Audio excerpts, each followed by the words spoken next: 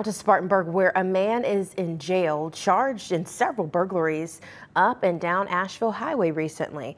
Deputies say Jerry Wise is charged in at least six burglaries, all within the last month. Most of them happened at businesses near Asheville Highway and Hearon Circle. No one was hurt. And Anderson